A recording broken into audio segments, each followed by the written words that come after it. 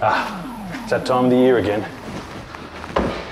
July. Well, we all try our best to be sober for the month. Let's be honest, there's a few of us that celebrate that beer sobriety with a bit of a belter. Question for you, would you wear sunscreen every day of the month and then celebrate by getting second degree burns from the sun? No, you think you would. So for this July, instead of being completely sober and then celebrating with a monumental bender to end all benders, you're saying for a July? Try, drink a bit less. Just one less beer. Don't put too much pressure on yourself and aim for a more long-term balanced relationship with drinking. Just do your best. Celebrate you doing your best. Heaps Normal's giving away a new car.